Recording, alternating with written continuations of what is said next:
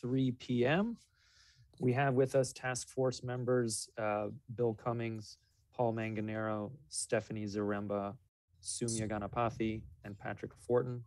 We also have with us Lynn Sweet from LDS Consulting, Mina Makarious from Anderson Kreiger, uh, Town Manager Beth Rudolph, and myself, Brian Szekely. Um, the goal for today is to go through the draft report and um, talk about the contents of that report and um, also vote on specific motions that staff has gleaned from from your reports.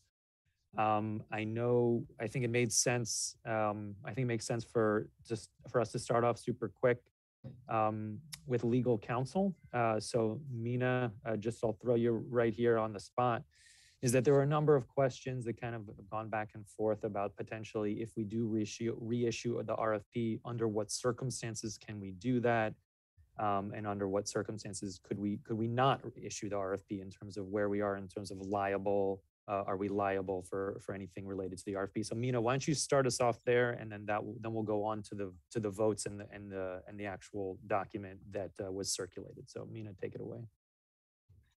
Thanks, Brian. Uh, the question of whether you can issue a new RFP or whether the board rather can issue a new RFP is based on how different um, the new RFP is from what was proposed before and what Civico and others responded to. Um, you can't issue a new RFP simply to see if there's you know anybody else out there um, with the same um, substantively the same requirements. However, if the requirements are differing uh, substantially, um, either because of new factors being added or factors are being switched around in a significant way. Uh, that would probably require issuance of a new RFP rather than continuing to go down the new route, the same route. So um, I believe, I, I, know it was after I, I left the call, but I, have had a chance to speak to um, different staff to understand the conversation last time. The, uh, the the issue when we talked about it very early on was whether simply issuing a new RFP and starting over was um, was appropriate or asking ex- existing bidders on the last RFP was appropriate. And in my view, for more information, my view that wouldn't be because you'd still be operating under the same RFP, but con- sort of continuing a competition that effectively closed with the first and second place winner. However, issuing a new RFP with new factors or, or substantially different weighting of factors would be uh, the appropriate course if that's where the board wants to go. Okay, so super quick re- recap. There'd have to be a significant change from the original RFP that would allow us to to to issue a new one. Um, a little further on the liability that the town has for going forward with this RFP. That was there was a number of questions related related to that. So if we quote back out of this? Like, where does that leave us? Uh, that that has come up from a number of different uh, people. Mina. Yeah. So in, in terms of liability to Civico, um, there is no liability to Civico un, until a deal is fully consummated, which includes a town meeting vote. That was in their um, in the RFP and the land development agreement that they signed. Um, and so their their willingness to continue discussion is, is with that awareness that they they take the risk that it might not you know they may not get to a deal. Um, so no liability to, to Civico. Um, and in my view, no liability if you stay with the existing RFP, no liability to, to anyone else. Um, Penrose is the second bidder. There, they have not alleged any um, inconsistency with the RFP. Uh, we talked about the uh, the one letter we received, uh, or the the letter we received regarding that, and I gave you my view of that a couple of weeks ago. Thanks. What Mina. about the fact that Civico has invested some probably 50,000 to get to sort of, you know, this point. Wouldn't it be in the best interest to try and negotiate some of the, you know, finer points before because it's time and money to the town to go back out and bid too. Lynn, I, I am not I wouldn't disagree with that that it's time and money and that it's cumbersome to get an RFP. Um, I'm staying sort of within the, the four corners of legal liability um, I don't think you'd have legal liability to Civico, whether there's um, reputational harm, um, as in not in the legal sense. This is a small or small h, but sort of whether that discourages other bidders, whether Civico is disappointed or, you know, refuses to bid again, whatever.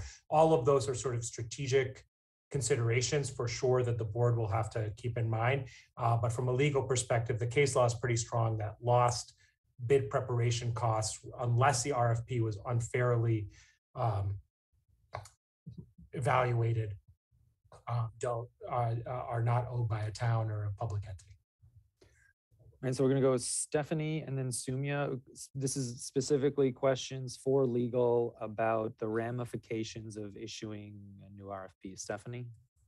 Yeah, um, so two follow-ups to that, Mina, thank you for explaining. I, perhaps I took an incorrect note. I wrote in notes from a much earlier session when we were talking about ground lease length. You talked about how changing the ground lease uh, length likely would require a new RFP, and you had made a comment that that could potentially open the town up to liability to Civico. And perhaps I completely misunderstood. It's, Stephanie, it's hard for me to, to recount exactly when in that conversation, but so, so we may have been talking past each other a little bit, but changing the ground lease length uh, could only be done with a new RFP. Perhaps what I was talking about, because I do remember there was a conversation very early on, why can't we negotiate with several people at the same time? Which as a private entity, you would and you would want to. Um, you'd sort of want to have have multiple doors open. Unfortunately, the public procurement um, route doesn't provide for that. And that's what I was suggesting, that we couldn't go back, for instance, and simply ask Penrose or ask Win, um, could you, you know, would you do a 50 year lease and then we'll switch horses? We couldn't do that. Got it. Um, thank you. And second question, if the town wanted to make some of these substantial changes, but let's say we decided to um, no longer require parking. We're just taking parking. I'm, I'm not proposing that. I'm just giving an example. Um, if could we continue in our negotiations just with Civico with substantial changes, or would removing like a heavily weighted factor um, would that potentially open us up to liability for kind of totally changing course you know post RFP process? Um, I want to be careful with the word liability, so I just I don't want to be.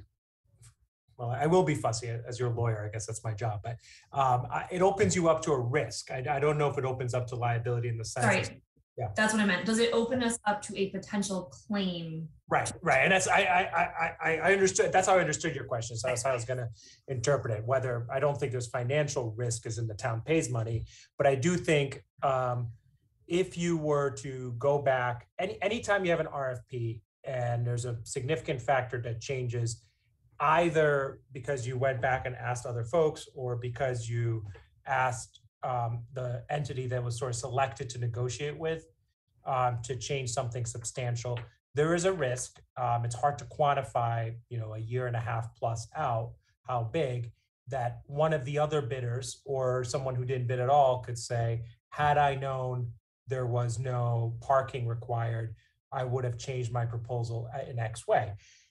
What I will also just emphasize here, this we're um, we're not in your kind of typical um, RFP process in the sense, or bid process in the sense when when you have a construction project, if you're asking, you know, build us a new high school, even a complicated construction project, build us a new high school. If you drop a wing of the high school and that was you know going to save three months of time and a, uh, an entire subcontract or something a, a bidder much more easily can say well if i knew i you know this was a project i could fit into my schedule or i would need fewer laborers et cetera i might have bid on it or i might have bid differently it's a lot harder to to do that and to do the sort of counterfactual with land use rfps like this um, because by design, the state leaves a lot of flexibility in the evaluation criteria. And it is part of what I think this group has been struggling to, with and sort of was tasked to do is figure out how to weigh competing topics that don't necessarily, while sort of there's an evaluation criteria, their reasonable minds could differ which ones to sort of which which basket uh, each bidder should sort of put their eggs in, I guess. Um, so that's that's a, that's a challenge. Thanks for that clarification. Sumya and then Lynn. Uh, Thank you for the clarification, Mina. I, I did have a question um, in terms of uh, just the weighted factors, Mhm. um, in terms of what we consider important in the RFP. Is that based on the original RFP, what's considered 3X, 2X, and 1X from that document? And um, how different does it have to be in, in, terms of um, what's considered within the normal parameters versus different? Um, well, I, I- would say this. I, I- I don't know that there is a fine line, first of all, but but to the extent that you're thinking about it, you know, it, those are factors for selecting among the the proposers who did propose, right? So that doesn't mean that in a negotiation, um, you know, if you know, let's I, I don't remember the exact numbers, but design, let's say everybody seems you know all around generally content with the design.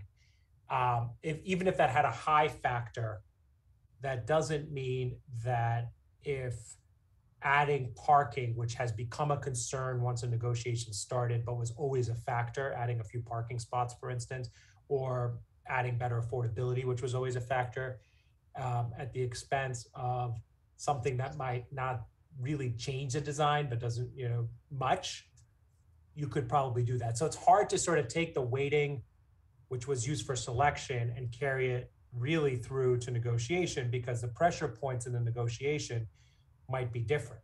Um, what might have been easy for, you know, I, I'll use an, you know, made up example. This isn't necessarily Civico. It might be that one bidder um, has no problem for themselves financially satisfying the um, affordability component. They, they, they feel very strongly they can do it. And so when it comes to that weighting, they do just fine. Um, but even, but just to kind of eke by on the parking component cost them for whatever reason a whole lot of money or requires a lot more work from them. When you start negotiating the lease, that pressure point gets exposed or start negotiating the LDA in the lease, that pressure point for them becomes exposed in a way that really doesn't tie to the weighting the town put on, do we pick bidder A or bidder B over the, between the two? So, but, but, but to go back to a new RFP, I think, you know, on, you know, there, there would be some who would argue even a one X change matters because it could change things. And some who might say, well, that's, you know, putting a feather on one side of the scale, not an elephant. And so what, you know, which one, you know, how far that goes is, is not something courts have really um, given a, you know, g- given a clear answer to that I could tell you it's, it's X, you know, if you change it twice, it's too much. Sounds complicated. Yes. Um, sorry, uh, Lynn, and then I think we're gonna try to get to the, to the memo. Yeah, I think um, I was gonna add uh, just a couple of, of, of notes and, and, and pose one more question because I think Mina answered my questions, which is, well, what if you do a little bit of tweaking to the affordability and what if you maybe reduce the retail component and therefore, you know, get a few more parking spaces? It sounds like on its face, that doesn't rise to a new RFP. I don't know whether or not, you know, trying to take down the Chamber of Commerce building is, is, is another item. And I'm kind of hung up on that because there's so many unknowns around that. Um, but I will say that from a practical standpoint, from other municipalities that have issued RFPs, awarded a bidder, and then kind of gone back and stopped the RFP process and started again, they do tend to lose credibility in the development field uh, when they do that. Um, and so just from kind of like a psychological standpoint, again, that you've had this one developer that spent an enormous amount of time and money, you know, kind of getting to this point. I just want you to kind of keep that in mind. You may not actually have anybody come back to the table, you know, you may, but um, every, it's a, it's just a very small, small world out there in the affordable housing world, at least. Um, when it, you know, when it comes to these RFPs and people need to sort of, you know, development companies need to make a decision about what's the, you know, the best amount of time and resources that they're going to put into something. I'm sure that doesn't come across the way I want it to. I just want it to be informational. Um, thank you. Thanks, Lynn. Um, Okay, so I'm going to put up on the screen the document that was sent to everybody. There are only uh, two edits. One edit is a suggested edit by Paul that came in to me this morning. And one, uh, and, and then there are two potential motions to be added that were sent by Stephanie. Pat, you have a hand. You're, um, you're muted.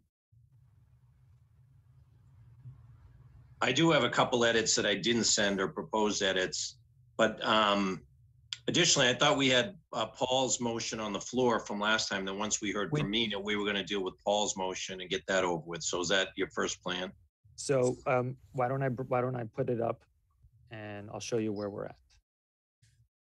So um, this cover letter, um, what the hope is that we would go over this. If anyone had any issues with this, the the, the kind of informational portion of the of, of the cover of the cover letter, Pat, what you're talking about is right here is is our first motion that we would be voting on, which is down here. So we're we're we're we're almost there. Uh, I just want to make sure that everybody is is okay with this with this cover letter. This is this cover letter is you, you've seen this. Uh, it, it was sent to you just two days ago, though. Um, no changes have been made to this cover letter at the moment. Um, so, does anyone have any questions or comments, or you can give edits uh, now or in or um, Pat? Why don't you go ahead and then Sumya? Yeah, mine are more related to motions than the cover letter, so I'll I'll stay out of this for now. Sure. Yeah, no, we'll, the, the, the, the hope is that we're gonna go, we're, uh, the bulk of this will be voting, voting on motions to get those in, and the rest of this is a little more mechanical. Uh, Sumya, So, so Brian, I, I just had a quick question. When we had to um, uh, weight all these items, um, some of the items I weighted as high.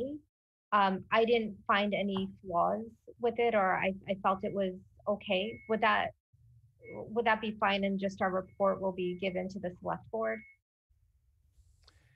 Um, sorry, uh, um, you mean that you've, you've made changes from your original report, or? No, no, no, no, I didn't make, so for example, um, revenue to the town, um, I weighted as four, but, uh, personally, I, I, I think the amount of revenue we're getting is satisfactory for, for all the other, um, aspects of this project, so I wouldn't change, um, the revenue to the town.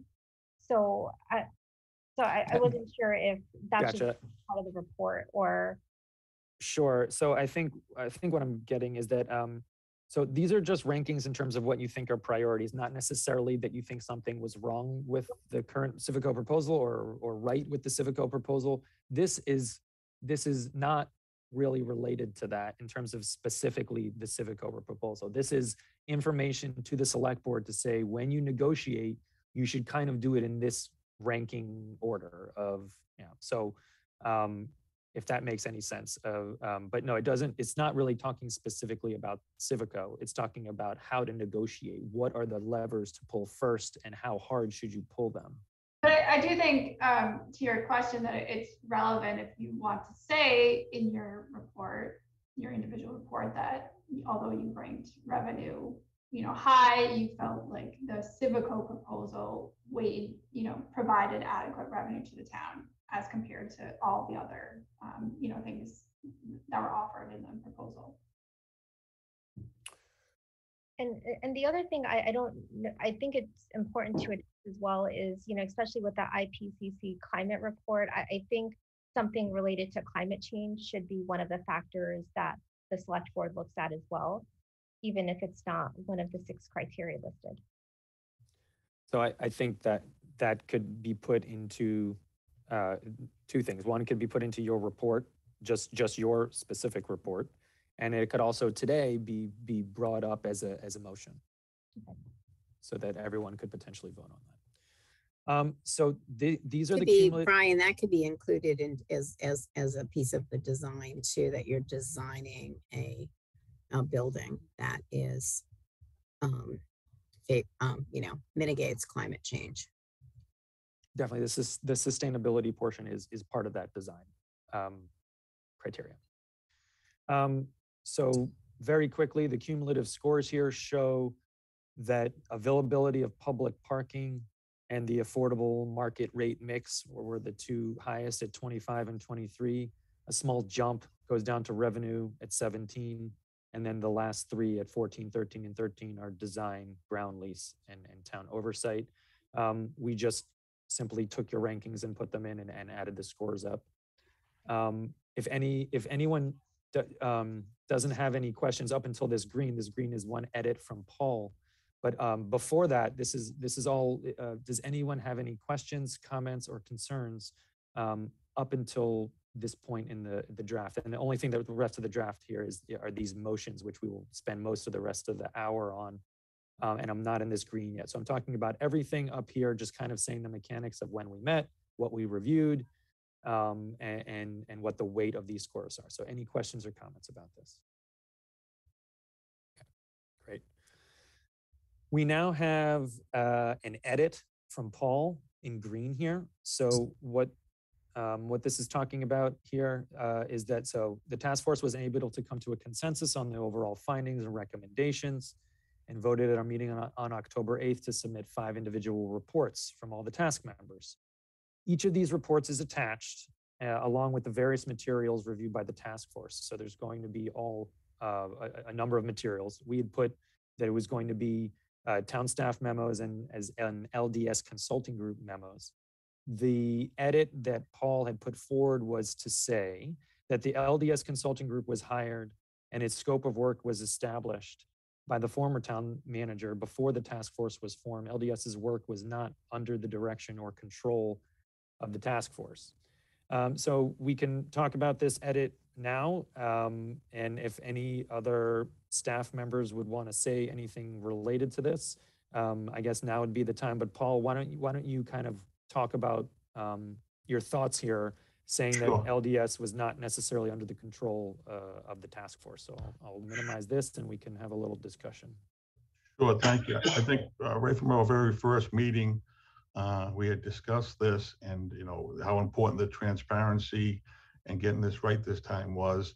And I expressed at that time, you know, nothing against Lynn and her, her firm, but I thought it would have been wiser um, to wait until the task force was formed, uh, have, get our input and have us formulate a little direction.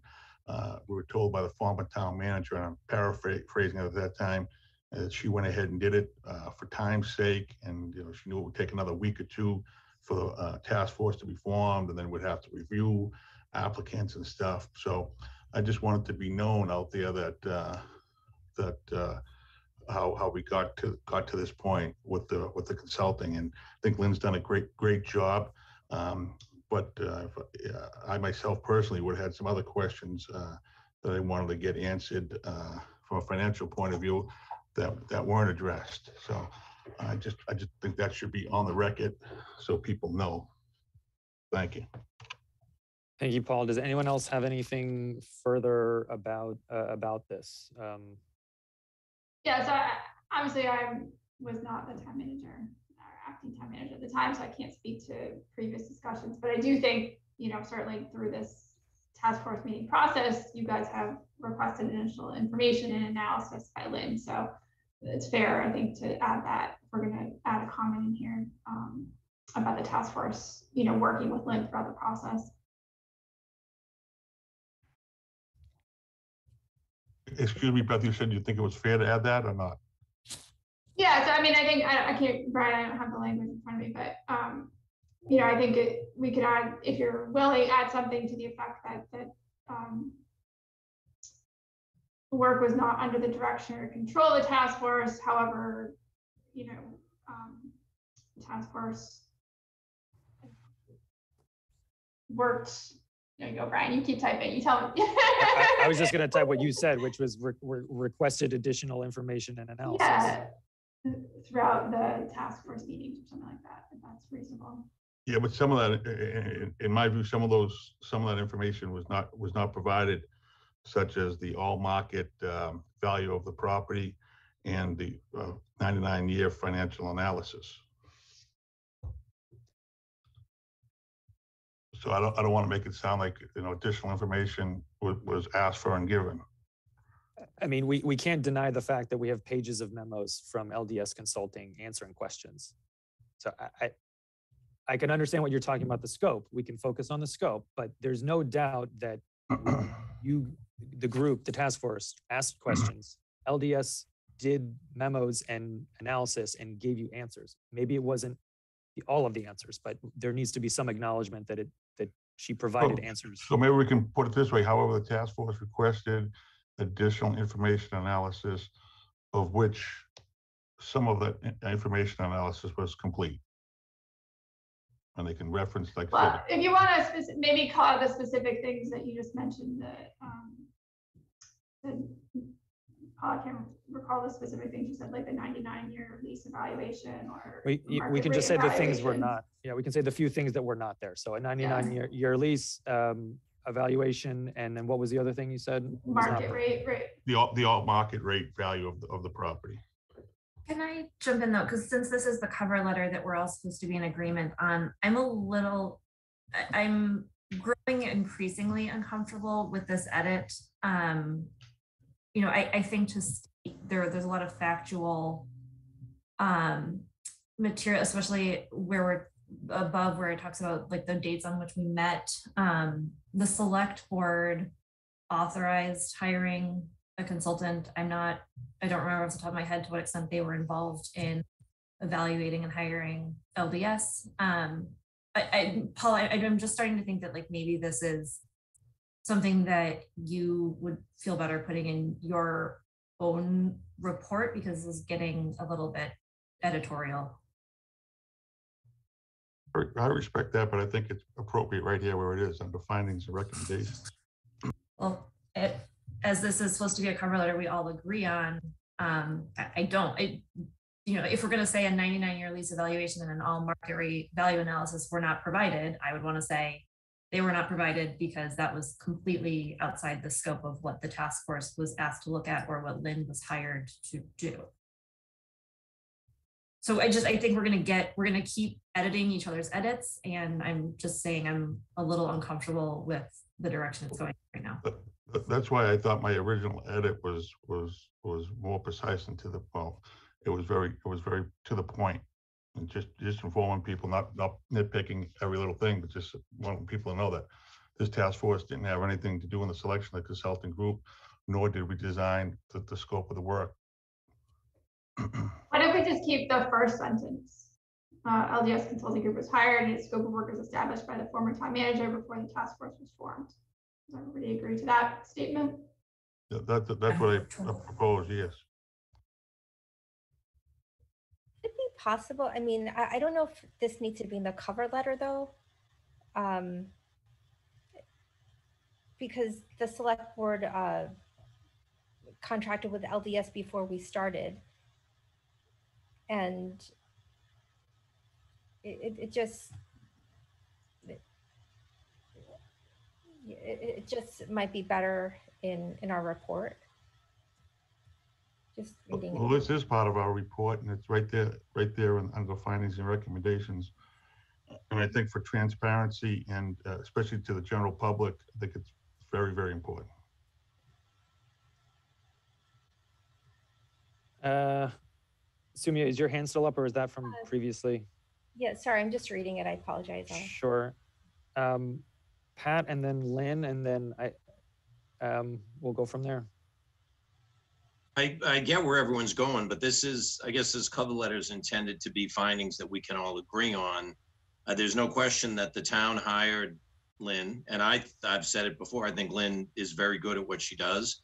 But the scope is the issue, and I think if, if we were picking that, there would have been different discussions on the scope. So I, I don't think what Paul has written is really it's not taking shots at Lynn. It's not doing anything, just stating a fact that we weren't involved, just so the people know we didn't hire the consultant. And I mean, if you want to say the scope of the work, it, it kind of covers what's the facts. I don't think these are hard facts to disagree with.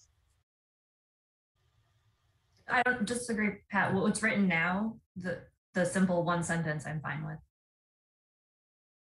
I, I think everyone can agree that this is the truth. Uh, Yeah, Lynn, I agree. Lynn, Li- Lynn, um, please.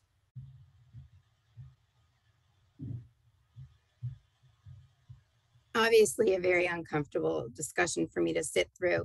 I'm concerned about the reputation of my company of putting a sentence in like this because it implies that our company didn't do the work that it was hired to do. And I'm just, I'm just gonna put that out there. Um, so do, do, you know, do what you want. I, I was hired by the town. I was interviewed by the Board of Selectmen. I was interviewed by the town manager. I was given a scope of work to do. I've answered all the questions that I practically can't answer at this point in time.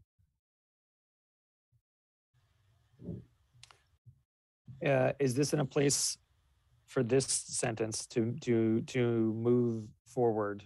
Uh, or potentially have, I, I, I do kind of agree with everybody here is that as soon as one sentence gets in, there's a possible edit and then another possible edit and another possible edit.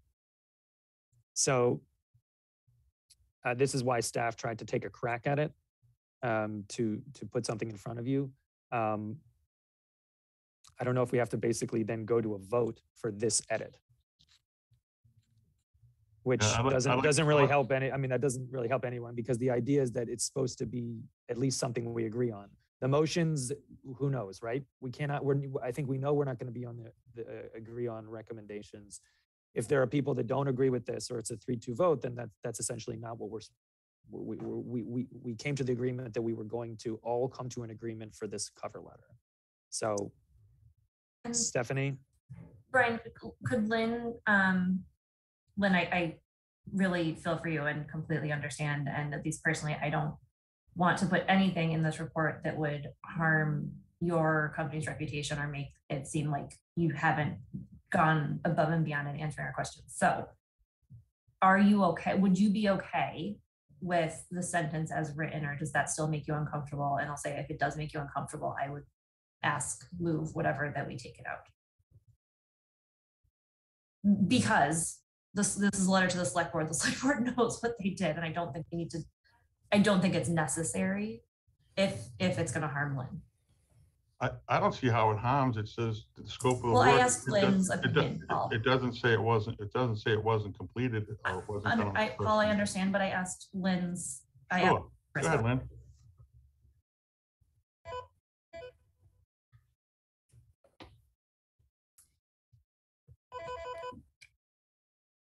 Eh, It's, a it's a tough question to answer. Um, It is a fact that I was hired by the town manager and the Board of Selectmen before the task force was formed. So maybe if you add in that um, the Board of Selectmen were involved with the selection, you know, through an RFP process. So I think that that's sort of, you know, again, kind of gets to the nuances that, um, you know, there's information that was missing here.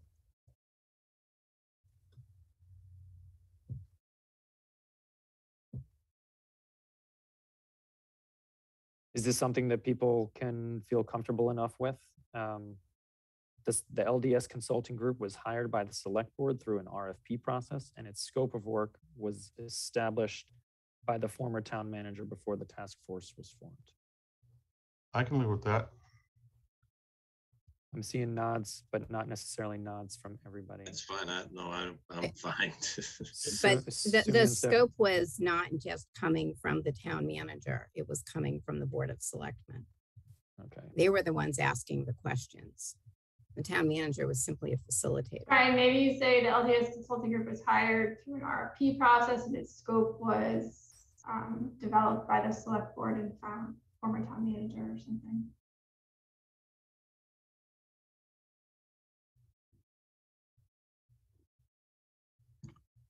Since the town manager just um, does what the select board says, should we just say the scope of work was determined by the select board?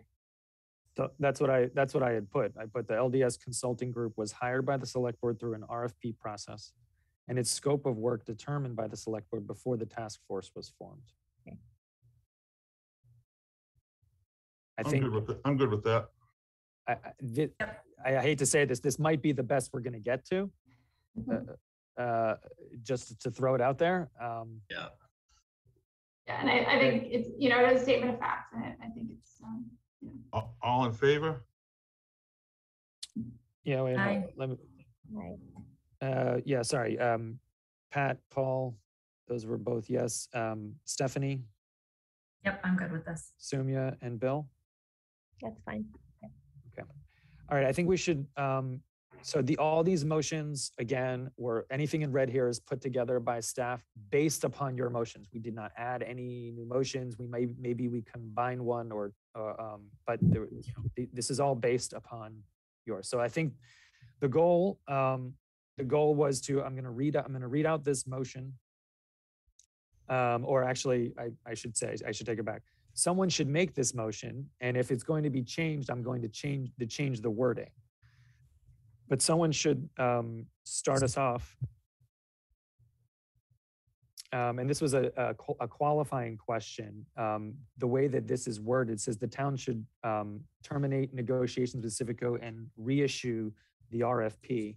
So this was based upon our last meeting, and the idea was that should we go completely all the way back to the previous, to the RFQ and start completely over from scratch? And this is just a clarifying question from staff to who's ever going to make this motion. Um, or is it really just go back to those pre-qualified bidders, the five that went into the RFQ process? So, um, yep, someone's, Asumia with your hand up?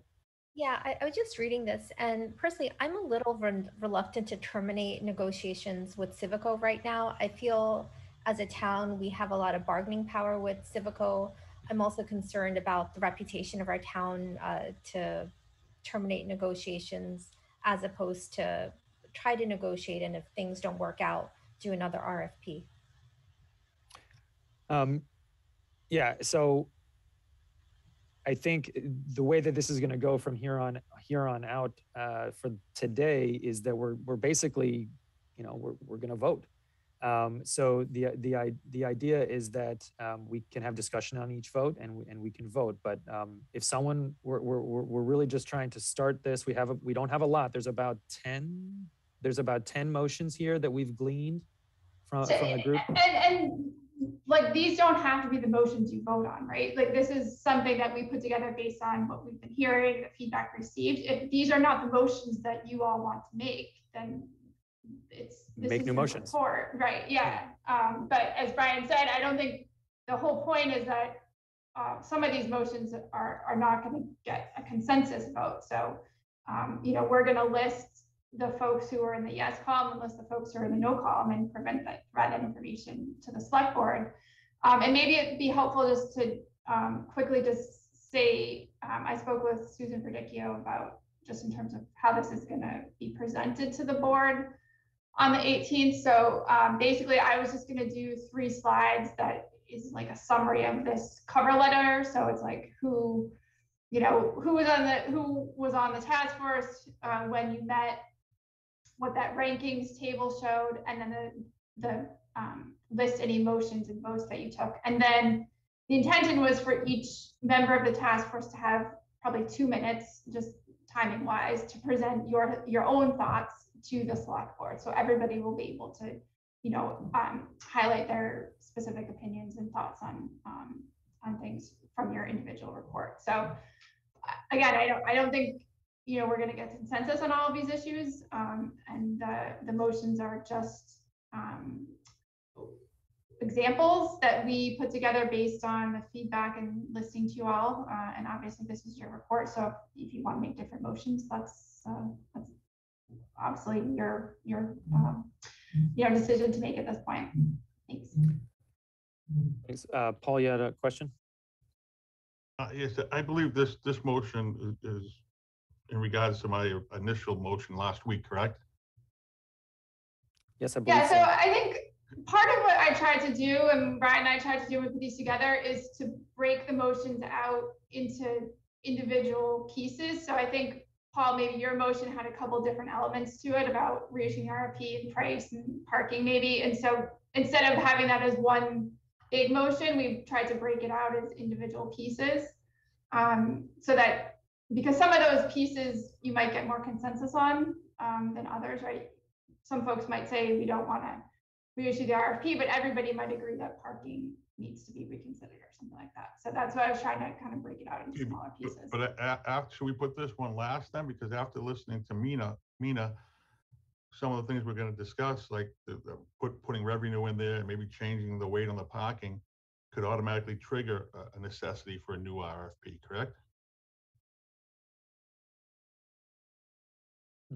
That's possible. This is all about, sh- this is, all these motions are should, these are, you know, should consider, that the, the, the town should consider, the select board should consider. So it, I see what you're saying, but I, I, still think, um, if we want to wait till the end, that, that's perfectly fine. We were just trying to follow the, the motions as they came in.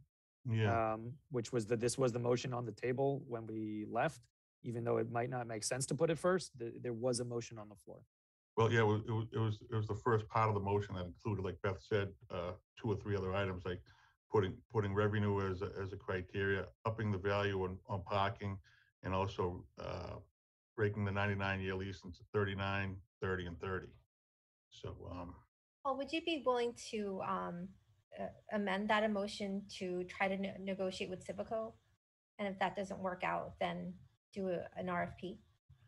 Um, I, I, don't think we can do that based on the legal, legal view that we just were rendered. And, uh, like Mr. Cummings said before too, and I do a lot of negotiations in my business, I don't see any advantage we have negotiating with one person or one entity. I think we should open it up, uh, this way also, because I'm thinking of, of the, of town meeting and, and the general public. Uh, at least they're gonna feel like, uh, they got the best, uh, best deal in a negotiation uh, scenario. I don't see where we can get with just us and Civico. And plus, like I said, my main thing there uh, is that we're, we're gonna discuss some things that, are, in my opinion, uh, based on what I just learned, are gonna, is gonna trigger a new RFP anyways. Uh, Pat, then Marty, and then Stephanie. And Paul, this is your motion, I think, so I don't know, I mean, I don't know how strict we're gonna be about messing with this. I do think um, the second point that Beth had, has added, I think this motion gets, gets friendlier to the people that want to move this along to add language that the town uh, rebids the RFP and should go out to the current pre-qualified bidders. My understanding from talking to some you know, people in town meeting that if you use the pre-qualified list, you may even be able to have this back on by spring town meeting. So I would like to see this motion done now and get it over with. When waiting two minutes, it's, I mean, it's just an opinion, Paul, whether, whether it's legit or not, or whether they can do it. Selectmen can do whatever they want anyway. I like this motion as town should terminate negotiations with Civico, reissue the RFP to the current pre-qualified bidders. And that makes this thing go fast and he puts it out to fair market. It creates transparency with everybody that it went back out and, and, you know, we move on to the next one. I- I would make that motion then to just, uh, So, so What- instead of just make the motion, I- I, I think. you want me to dance or you want me to say it? Yeah, let's do I- it. I make the Let's do it. motion to, to approve the town should terminate negotiations with Civico and reissue the RFP to the current pre-qualified bidders. Is there a second? Second, Second, Bill. Uh, discussion. Uh, Stephanie's discussion. Um, I have a comment and one or two questions. Comment being my job is negotiating business deals also, and um, I, I, I would not like. I disagree that the only way to get a good deal is to kind of play the field and go back and forth. There's absolutely a point at which you invest a lot of time with a partner and you continue to try to make that work and you would have a horrible reputation in business if, if you did not do that. Um, my question, I wanted Marty's opinion since she's worked as a developer in this field her whole career. I wanted her to weigh in on what the reputational hit could be, if there would be any, to the town reissuing an RFP here. Um, and I also wanted someone to just, the, Pat said several members of town meeting thought it could still make spring town meeting, but I don't, like, they're not the experts on that necessarily, so I'd like to actually know what the timing would be, the steps that need to happen in a new RFP and, and truly what those, uh, times are. Marty, why don't you go ahead first and then we'll go, we'll take it on over to legal for the timing of the RFP. Yeah, I mean, uh, so I have a couple of of comments, and this will be a little disjointed because there's been a lot in the conversation here today. First of all, if a new RFP goes out, the same situation will apply where the town will only be able to negotiate with the selected developer. So if a new RFP goes out, the town will not be able to say, oh, I like number one and I like number two, so I'm going to go back and forth between them. Because that's unfortunately, as I understand it, the way a multifaceted um, uh, bid process like this works. It's unlike price, where you just have one factor and you pre-qualify and you negotiate price. So um, the town will be in the exact same situation of picking a new developer and then negotiating with that person to make the deal as good as they can. Um, the um, the question about reissuing the RFP, I think it's a question of how much the town um, wants to alter. If the select board just wants to go in and look at the rating criteria and re-rank the weighting criteria and not um, change the rest of the RFP, that could in theory be a, s- a quick process. Um, I think it is very ambitious to think that it's actually, that's actually going to happen, get out on the street, get proposals, because you need to give developers, even if it's the same proposal, developers, you need to give them time to put their, nu- refresh their numbers, look at what the town said has changed. So you're going to have to give them, you know, 60, 90 days maybe to, to really do it right. Um, so I think the idea of going to Springtown meeting with a new RFP is, is really probably not realistic. Um, I think the, the fact that the town had a referendum vote on this and the ta- fact that this has been so contentious will in fact make developers think twice about how much money they want to invest in an RFP. Um, because it does cost money to put together, um, a response to these proposals. Um, and it takes, you know, paying your lawyers and architects who don't do that for free to help you uh, put a proposal together. So um, I think I think people will certainly dig into what happened and ask questions about how serious the town is about uh, about doing this. And if the town goes out to rebid, they've got to have a really, really kind of crisp and you know consensus about what they're looking for to get to get a good group of responses. Thanks for that, Marty. Uh, Sumya, further on the motion. Uh, yeah, I just had a quick question for, um, a follow-up question for Marty and maybe Mina. Is there any, um, circumstance where the town can, can negotiate with more than one developer? Or does the town just pick a developer and then they do the negotiation afterwards? Maybe, maybe Mina would be the best uh, to, to handle that. I'm trying to think if I've seen an example of that, Somia. Th- There's, so as I said before, thirty B sixteen, which is what this would move under, is, is very flexible. And the town, I think the town may have explored the limits of its flexibility by sort of having a backup proposer, proposal. Um, There, it- I can't recall that I've ever seen a sort of best and final offer process or two selected bidders, and you could, you could structure it as multiple rounds of it.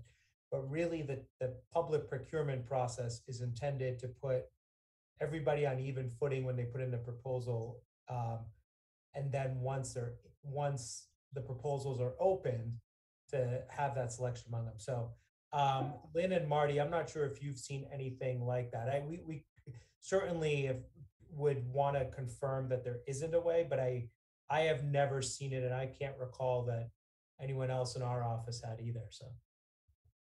the, the, the closest thing that I can think of is um, in an interview process, you know, a town might take the group and narrow it down to three. And then the interview process, the town might say, would you be willing to try to find two more parking spaces, right? Or would you be willing to think, so you, you could get some information um, in each individual interview. Um, but, but that's kind of as, as, as much as you know, much as I've seen um, in these, in these kinds of proposals that are based on many factors, not just price.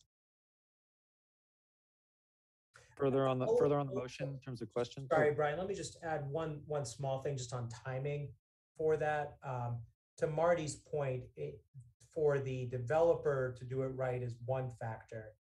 There's also the side of it for the town to be able to present something that um, town meeting can sink its teeth into and understand well in advance um, takes some time. We were hampered a bit by waiting for the T's um, proposal last time. To the extent that there is a new RFP and a negotiation, it would also be more difficult, and just to be perfectly frank about this, to negotiate two LDAs, two different agreements, et cetera. So, so beyond the sort of interview, um, initial feeling out that Marty described, to go down a path with multiple entities um, is also difficult unless you're putting forward um, a sort of set agreement and there's only one very easy toggle being moved, price, for instance. Um, but if you're looking at sort of having the developer provide the substance of what is going to happen and you're trying to work that into a land devel- development agreement and then a, a lease, that's hard to do with multiple parties. I, I would, I would echo that you're not gonna get a lot of cooperation under that scenario either from, from the bidding parties. Um, it's hard to explain how small a world it is, but everybody's worked for everybody and affordable housing developers all support each other. Um, and I think that you would have a hard time finding, you know, the second or third or fourth bidder on this that would come back and would, you know, kind of chop the legs out from under Civico because they wouldn't want someone doing that to them in another municipality.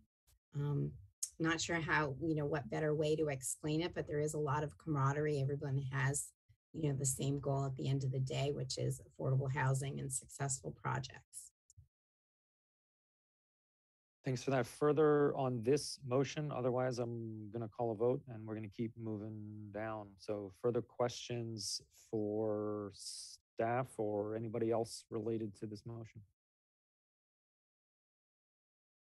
Okay, I'm gonna do a roll call vote here. The town should terminate negotiations with Civico and reissue the RFP to the current pre-qualified bidders. First by Paul, second by Bill. Um, Sumya, No. Pat, Yes. Stephanie, No. Paul, Yes. Bill. Yes. Okay, so I Brian, believe- Brian, will you record the Yeah, names I'm- in the columns there? Yeah. Yeah, I'm gonna try to do this um quick.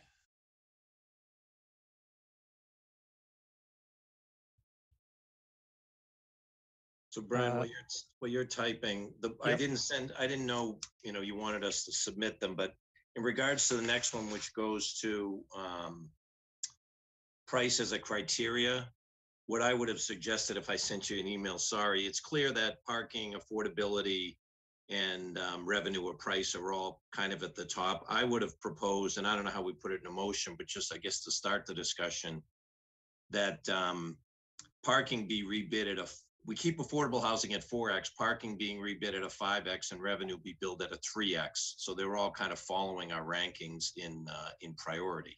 I don't know if that's three motions or if that's going to confuse the heck out of everybody, but, um, that seems pretty much where we came out in parking, I think was a two X and really needs, you know, it clearly is the number one point that's, we've gone round and round on. So, um, Sorry, I I can was make just- those in motion if you want me to, or I'm, your, your second motion relates to revenue. yeah, I was just trying to see if there was uh, potentially other motions that we could tie that to, but it looks like that would be a standalone motion of, um, or you could, you could say the evaluation criteria should, should be as such. You could, I mean, you, in terms of, you, you guys can do any motions you want. This is, these were just suggested motions. So, so just want to make that clear that you're not bound by any of this. This is just us trying to make sense of everyone's um, recommendations and putting them in a motion form. All right, so let me, I'll, in the interest of time and the interest of compromise, I'll make a motion that hopefully maybe everybody can be happy with. I would propose the RFP is reissued with new rankings, and the town should issue new rankings with parking, affordable housing, and revenue, all as a four X. So we put them all in the same bucket, and we don't nitpick over what wins. That makes Stephanie happy and the affordable people happy. And it keeps all of those as a top priority in the process, and And when you probably mean what, pricing, do you mean rev- revenue? Revenue, yeah, you, I think it's called revenue in your bucket, right? Revenue, affordable housing and parking. All as a four X. Or, or do you want to say all as? uh, Equal. Instead of, yeah, ranked equally or something.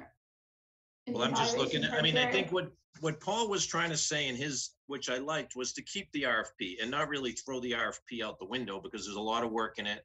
There is stuff in there about, you know, um, green type of things and sustainability. There's a lot of good stuff in the RFP that's further down. And rather than force them to reinvent the RFP, Paul initially was going to the point, let's just keep the RFP and change some of these core rankings. So um, I'm trying to make less work and keep this thing moving so that, you know, maybe it's not spring. I don't, you know, I'm just hearing stuff on the street. So I, the, the staff knows better than me. Uh, Based on where the, where the rankings are at, if you made them all a four X and maintain the, the, the rest of the RFP to some extent, it just makes it faster and easier.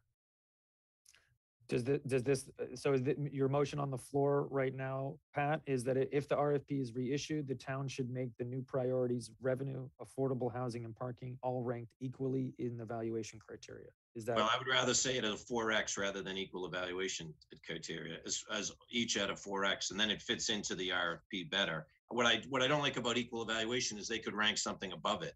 All of a sudden, maybe design is above it or whatever. I mean, it's, four X is clearly the number one thing. I mean, it drops quickly to three and there's not many threes and then it gets into two, so. And I'm just one guy, but I'm just trying to move it along and so I'm No, kind of negotiating think- with myself to help, help get us to a, you know, get us to a decision. so Pat, I think, I think I have your motion here. Um. It, I saw, sorry, there's not too many screens. There's a lot of hands up I see. So, um. ah, Uh, Lynn, Paul, Stephanie.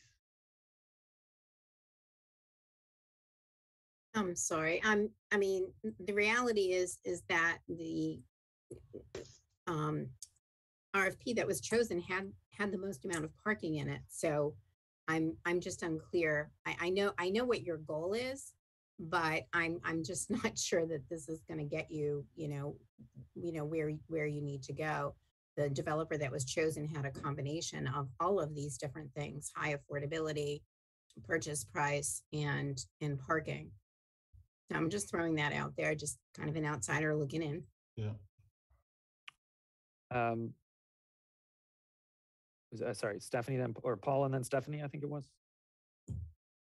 Yeah, yeah, the, the, the original, I, I would, I would second this motion, uh, for the reasons already stated. And, uh, the, the parking, uh, the last uh, RFP was only, uh, given a light weight, so this, this brings it up to, to snuff where I think we need to be. And like we said, those are the three major topics, the affordable housing, the revenue and the parking, so I think weighing them all the same at the top of the, uh, wait list is, is, is important. And keeping all the criteria that was in the original one at their present values, um, would make this move quickly and, uh, and, uh, and, and efficiently. So I, I second that motion. Brian, can I just recommend an amendment? Um, where it says in the last part as, uh, but keep all criteria the same. I think we should say as the previous, keep, all other criteria the same as in the previous RFP. Or criteria ranking or something like that. Yeah, so it'd be keep all other other previous criteria the same, or all other, Uh, So I, I would, I would reference the previous RFP. Sure. um, I could Say like criteria weights or ranking or something.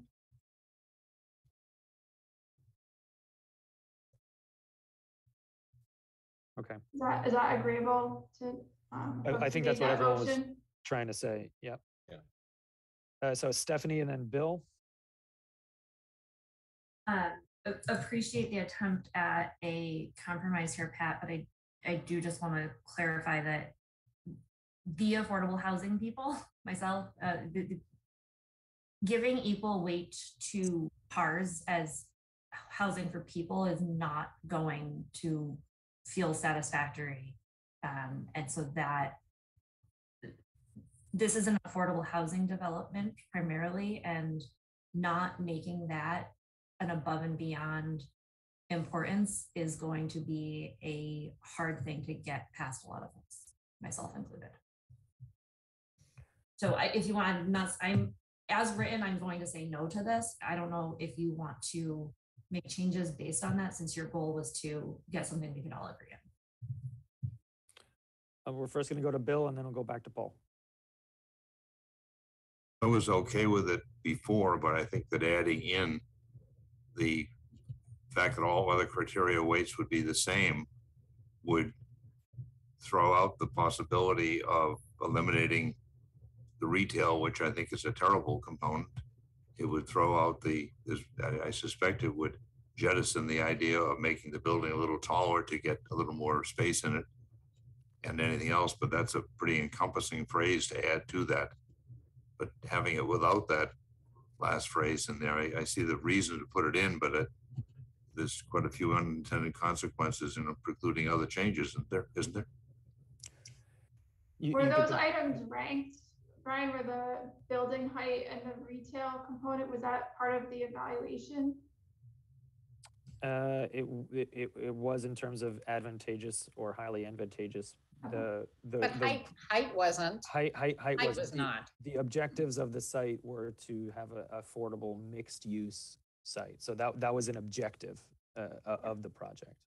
I would, if I can just jump in since it's my motion, I would, I would take a friendly amendment from Bill that just says, you can keep your wording just the way it is. Um, wait, same as the previous RFP, subject to the task force other recommendations. Be And that fine. way, whether it's a, whether it's, whether it's a design criteria or not, but I mean, we want height to be looked at. We want the chamber building, I mean, at least I do personally, so I would, um, if Paul's okay seconding it, just add subject to other recommendations of the task force, and those could be anything. Bill, you okay with that?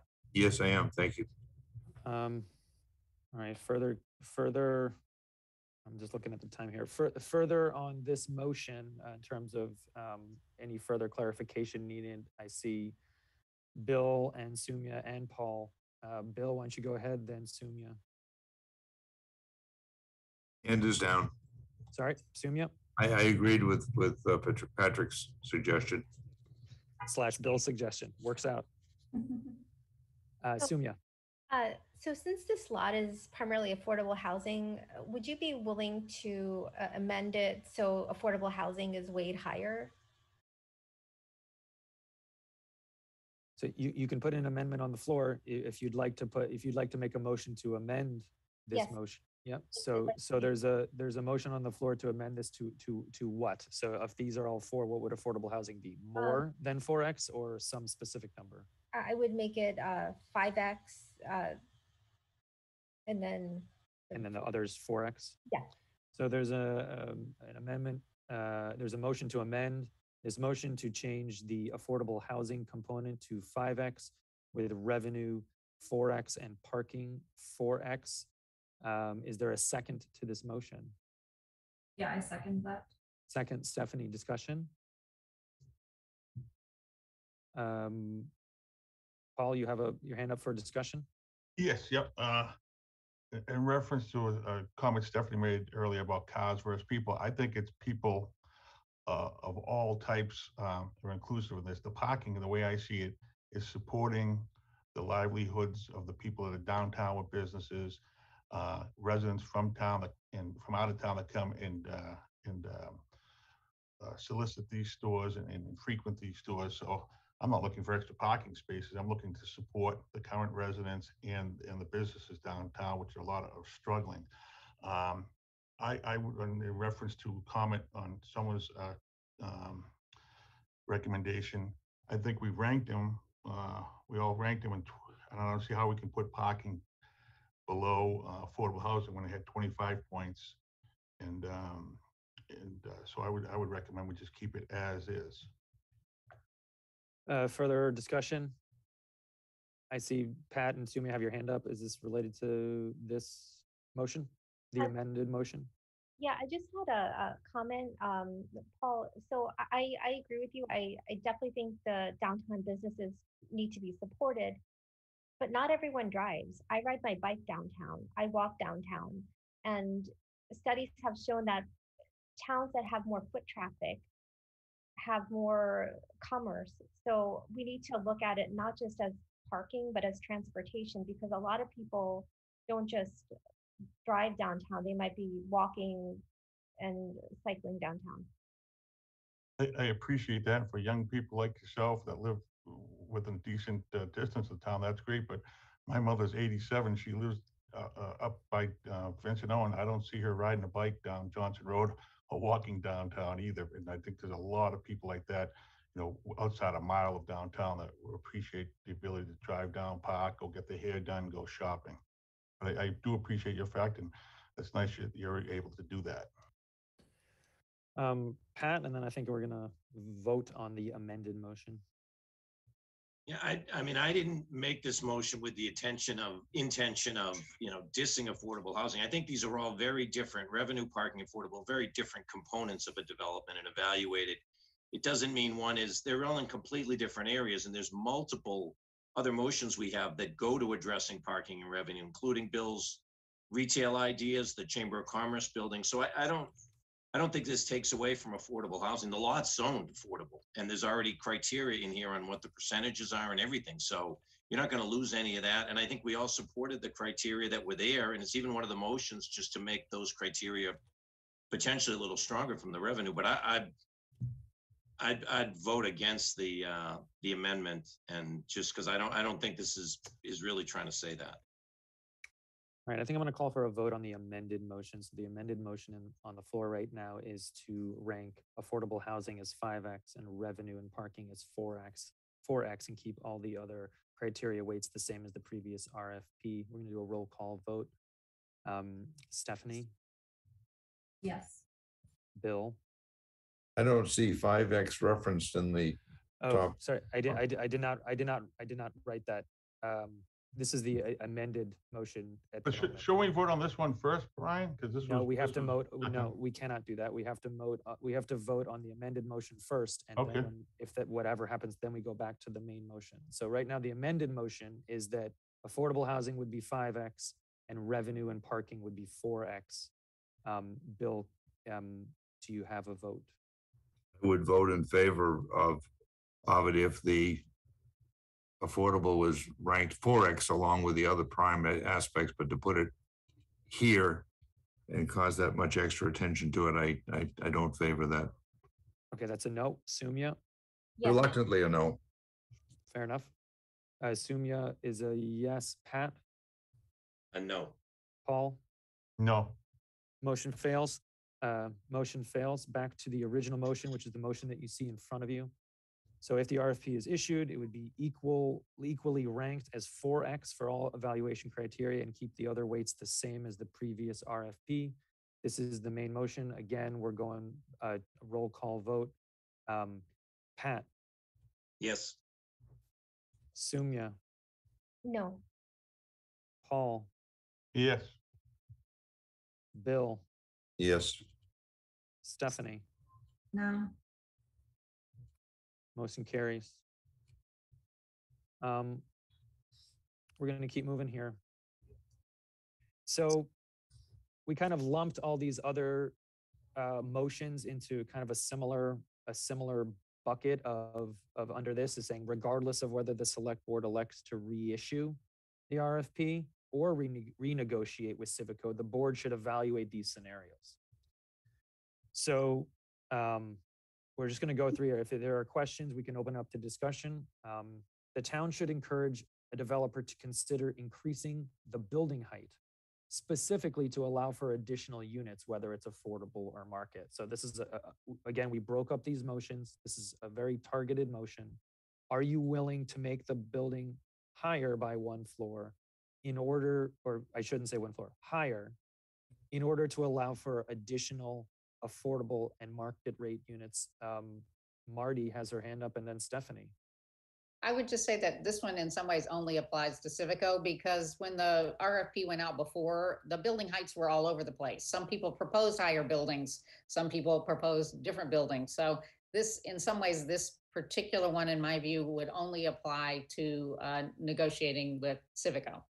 Um, So, But Correct, in 'cause there in wa- addition to RFP, they could include specific requirements about building height, like there could be an evaluation criteria. well, then that's a whole height and different discussion to get agreement in the town about what the height's going to be because there was a lot of discussion about the planning board at the planning board about what heights they liked and what heights they didn't like. And so if, if the town is going to specify a height, a developer really needs to know that. Otherwise, you're just asking the developer to read the zoning code, talk to people around town, evaluate the site and put in your best proposal for what you think you'll be able to sell to the town when you get your zoning done. So, so it would be very different if the town says, we want an exact this big building because then you're taking a lot of the developer's job away from them and I'm not sure the town wants to go down a path of trying to design a building and then say to people, build on this thing. Right, no, I, I guess I was just, there's ways you could, if they did it reissue the RFP, there are ways to craft the criteria around options for building height. Um, I, so- I- I think that's hard because this was really about revenue. This, this, this, com- the conversation that this task force had was more about revenue. And it just said, tr- explore other things to increase revenue. So I, I don't, maybe you can. I'm, I'm just not seeing how. Sumia and then Stephanie. Uh, yeah, I was just wondering if in that motion, we could uh, take into account um, the planning board's uh, height uh, limit. So none of the, um, so it doesn't exceed the proposed height uh, by the planning board. So um, just a point of clarification there. So there is a by right height of 40 feet. There is a special permit height of 48. And this is in a plan unit development, which has no height limit. And Okay. also, if the developer decides to go the forty B route, the town's zoning would not apply. Um, so the, the, the- the point is, or sorry, the question from Sumya was, well, can we put at least a recommended height or some type of a height there? And the, i- th- this site was, was pegged somewhere in the under 60 foot mark, uh, but that's not like a vote and the zoning doesn't require that or anything like that. But, but, um, that's based upon, um, a lot of, uh, research of people, um, trying to develop around the town and being near the common, the idea of going over 60 feet was, was, was problematic for a lot of people. Um, Stephanie and then Pat. Um, my, my question was the by right height, which you just said was forty feet. How does that, can someone, does anyone off the top of their head remind me what the Civico building height was? Was it at forty feet? It was 48, uh, which was the special, was, which was, which was the special permit height. So it was between 40 and 48 feet, with the highest being 48. So put another way, the current Civico proposal is already nearing or at what the town has kind of said we ideally like in the central business district. Fair? Yes, that, yeah, yes. That it, it's in this, it's, it's within the zoning limits of the special permit heights. It's not outside of the special permit height, which, which others potential, or which others were. Uh, Pat? You're muted. Sorry, kids. Um, this was Bill's motion, so I don't want to, Bill, you probably could speak to it. I see this as a just sort of a, a general theme that flows through a couple of these motions of, you know, we all want more affordable housing and we're trying to drive more revenue. So just giving developers flexibility and saying to them that the task force thinks this is worth looking at. Uh, I'm all for it, at least creating, getting developers to think, should I add another floor? Because even if just if you had Civico and they added another floor, by Bill's math, you're adding eight units, which turns into revenue, whether it's for us or for them and turns into parking or something else. So um, I don't, Brian, I don't know if you need someone to make the motion and second it. I mean, I'll make it to get it on the table if you need to be I- formal about it. I, I definitely need people to make motions. So I'll make this motion as it's typed. Okay, the town should encourage the developer to consider increasing over Civico's building height to allow for additional affordable and market rate units. First by Pat, is there a second? Bill, second as a bill discussion. Bill, you have your hand up. Now's a good time. Yes, I'm happy with that motion. I'd also be happy with something that even specified of, of a height up to sixty feet. So- it's just to give it some authenticity when they started to use it. I think the whole thing that we talked in the very first session was that there may be a need to give the, the negotiating committee some, something to work with. Again, if you are, are able to get more units in here, or we do without this, or we do without something else, we can make it a better building overall and give them the tools. So e- either, uh, so I, I as Pat read it just now, as you wrote it down, would be perfectly okay as all, as well, or, or with a sixty foot limitation in there, either one. Uh, thanks for that. Mina, you have your hand up?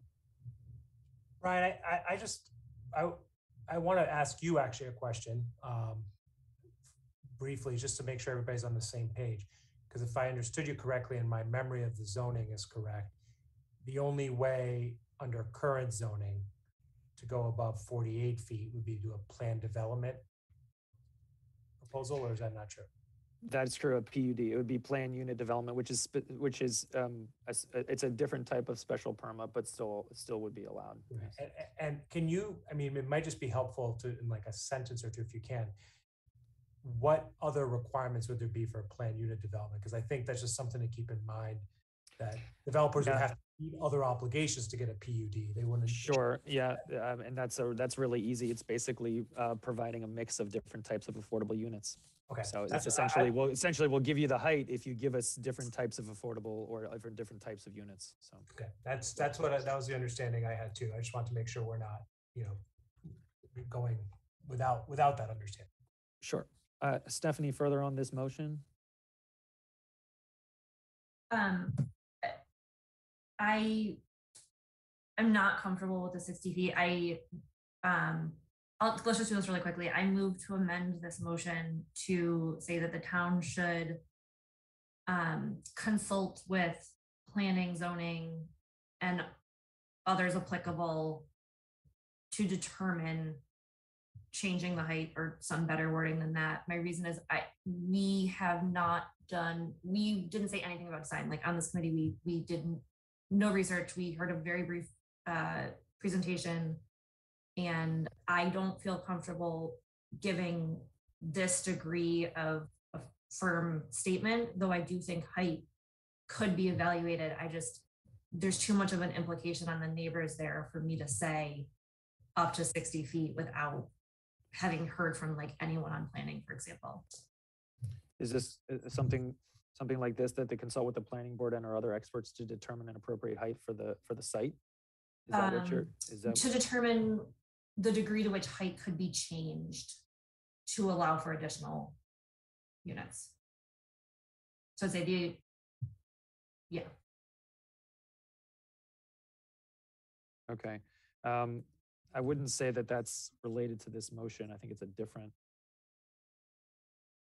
I think it's a different motion. happy to just vote on this one and. Yep. um, Just to the extent we're trying to get consensus here. Sure. Um, so as of right now, there's a first and a second um, on the town should encourage a developer to consider increasing over Civico's proposed building height up to 60 feet to allow for additional affordable and market ma- rate units. There's a first and a second. We've had discussion. Um, roll call vote. Um, Sumya. I, I had a question. So these are two separate motions now? Right, right now, yeah, right now we're just doing this first motion and then Stephanie um, really had, it it wasn't, it was related, but it really couldn't be part of an amended motion of this first one, I don't think. I think it's a different motion. So we are voting currently on this top motion here. Um, just because, um, so can I vote it, like, on this, d- with, uh, with consultation of the planning board, or is it just a yes or no right now?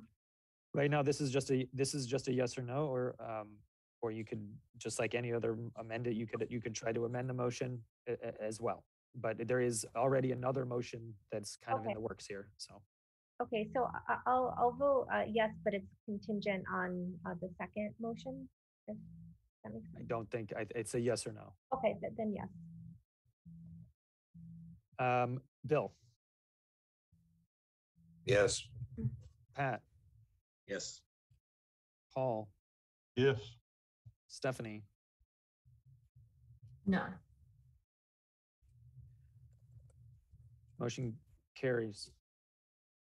So we have a motion on the floor, but, uh, sorry, Mina, Uh, you have your hand up? Or no, Mina? No, okay. Um, Brian, I'll rescind. you'll rescind, okay? Yeah, I'll put it in my report.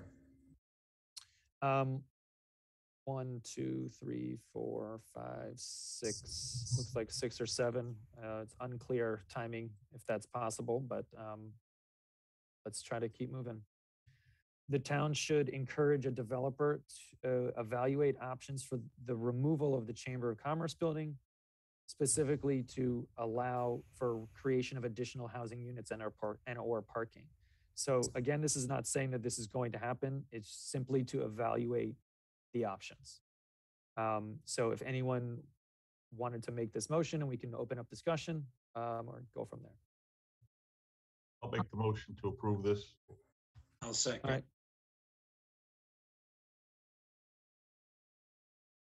Any discussion? Actually, I think this was one of the few I thought was going to be a 5-0 in my opinion anyway. But uh, the town should encourage developer to evaluate options for removal of the chamber building, the creation of additional housing. Lynn, is, you have a a procedural question or? Um, I do actually have a comment on this. I think that um, asking the developer to spend the time and money to get to the bottom of whether or not the easement is going to be an impediment or whether or not there is an engineering report structural or um, is there asbestos in the building? Is there lead paint? All of those factors are a huge burden to put on the developer. I think when I had brought this up last week, my thought was that if the town wants to take a time out and actually do the evaluation themselves, that um, if it is a go, meaning the Chamber of Commerce can come down, then, then there is actually an opportunity for revenue to the town. But I, I just don't see a developer that is going to be able to get qu- quick answers during an RFP process um, to say, you know, yeah, I mean, they could say, listen, if we can develop the Chamber of Commerce, we could get this and we could pay that. But that doesn't really get the town, I think, where it wants to go on this, which is, can it really truly be done? All right, so some logistical questions there for the developer, but this, again, this motion was really to just see, just evaluate. So um, encourage the developer to evaluate. So there, looks like they're already evaluating at some level. Um, So there's been a first and a second. Um, Stephanie, some discussion? Does this need an amendment to just say the town should evaluate or encourage a developer to evaluate so that it- there's flexibility on who makes that determination of? I think what we're all trying, what we all agree is that the Chamber of Commerce building maybe doesn't need to be there. I don't know that any of us had strong feelings about who was going to make that determination uh, in terms of like feasibility. So you- the motion, that uh, amended motion, the town should incur, the town should and should. also Evaluate. Encourage it. Yeah. The town should evaluate or, and or encourage a developer to evaluate. How about that? The town, the town should evaluate and encourage a developer to determine options. We don't want to, or, yeah. The town should evaluate and also And or, uh, I think encourage a and or developer right. and or. Yeah, I think it's an and or. And or encourage a developer to determine options for removal of the Chamber of Commerce building. Um, Pat, your hand is up. Yeah, I mean, I'm not gonna fight over words. I mean, I think that the mission of this stuff is get it out to developers and let them make their own call. Lynn, I appreciate your opinion, but you know, what's wrong with letting developers look at it? And if they can't do something, they can't do it. But I, I'm not, I'm Stephanie, you'll get my vote just to keep things moving. All right. Speaking of that, I, I think I am going to call a vote. Um, so again, the motion on the floor is to evaluate and encourage a developer to determine options for the removal of the Chamber of Commerce building to allow for the creation of additional housing and or parking spaces.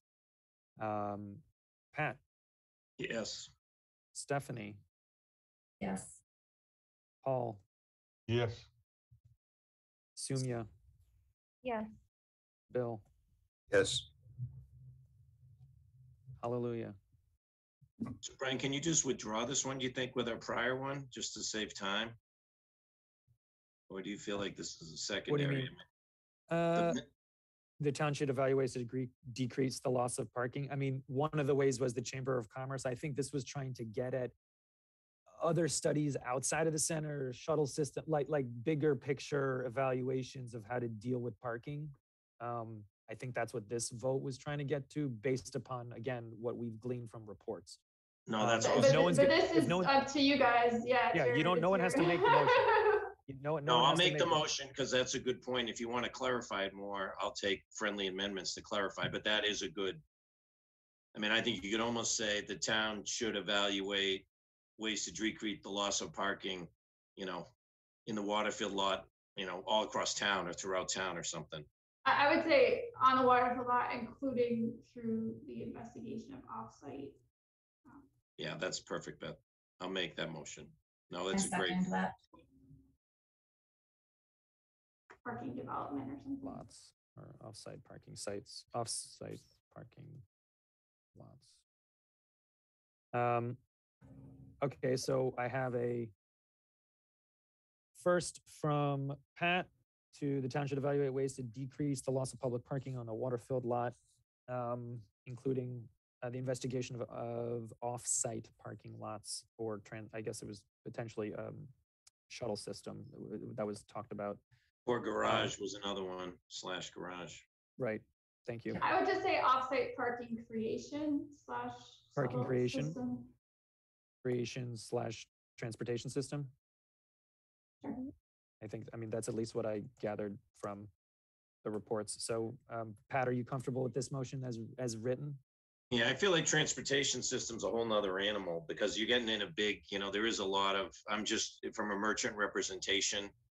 Uh, I mean, if you, someone wants to make transportation system, I think that should be a separate motion, because to me, that's a whole separate Alright. animal. So you think it should Alright. be shuttle? Pat, Pat, I'll creation. second it either way. I just, I think the reason we were talking about transportation was about employee, the town center employee parking, that there might be like a further away lot that they could be shuttled to.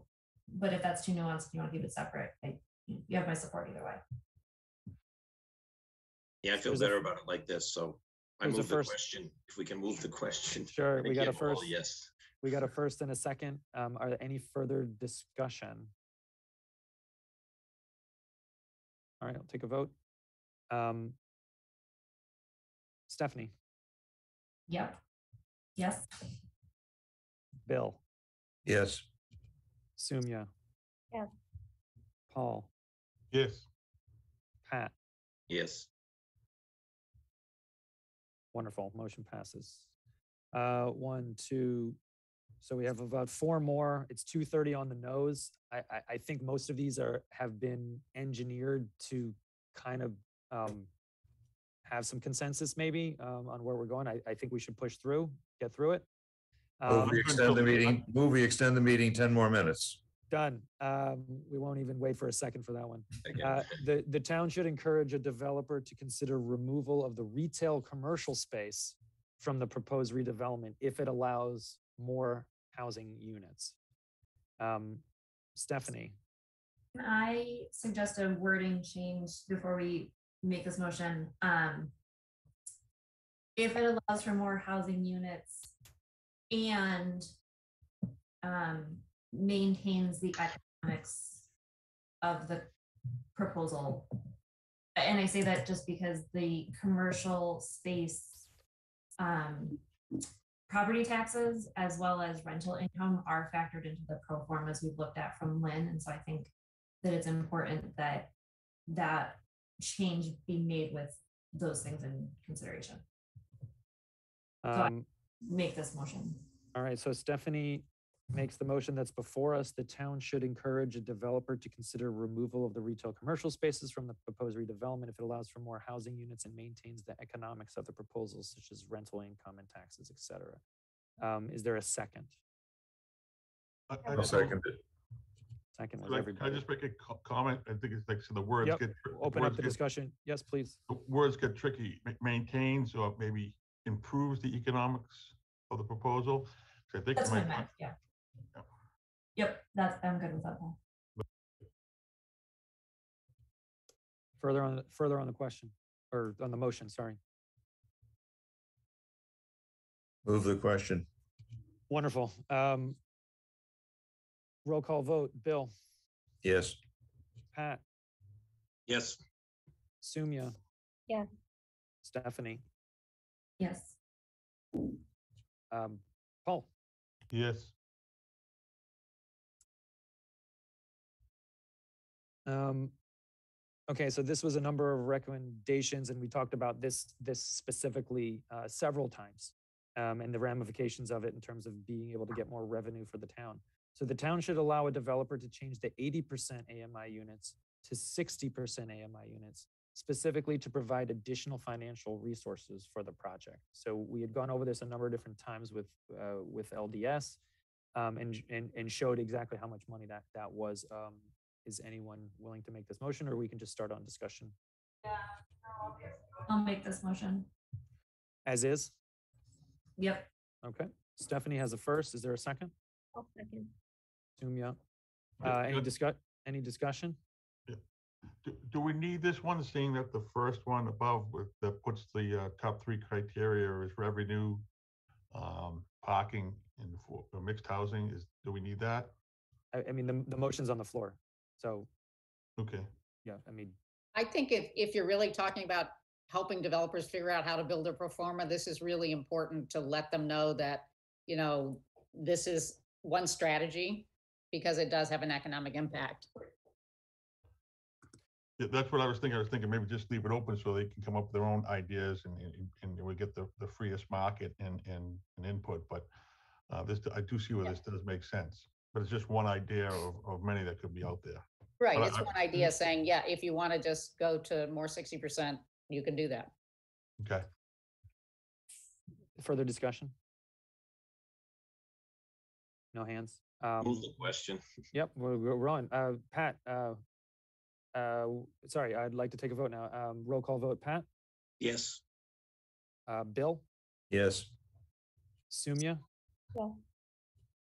Stephanie, Yes. and Paul. why do I always get picked last? I don't know, you're last on my list here. You'll be I, I, I, I say yes. wonderful. Um, there was not a lot of talk about the ground lease length, um, in terms of new ideas. There was, there was a number of just make it shorter, but we didn't actually have a specific ground lease length um, motion that's some that we, that, that kind of was, was, was thought to be uh, agreed upon by everyone. We'd be willing to take a motion right now if anyone has a motion on the ground lease length, but that didn't seem to be a point of, uh, uh, being able to kind of agree on that one. Paul, go ahead. Yeah, I, I had, I had a ground lease, uh, length in, in my original one, and I was proposing an initial thirty-nine year lease with two 30 year, um, renewable leases to follow. I th- I think it, I think it gives us the opportunity to re- renegotiate, uh, where we're at in thirty-nine years. Uh, also gives us, uh, second chance, making sure the oversight on this project is being done and the developer and the state and everybody else involved is doing what they said they would do. If not, we can, we can pull the plug. So your, your motion was I'm confused by you wrote, Brian. M- My, my motion would be a thirty-nine year lease. Uh, with, With two, with two 30-year extensions, correct? That was the- correct, With Yeah. two, to total ninety-nine years. right, with two 30-year extensions. For a total of 99 years.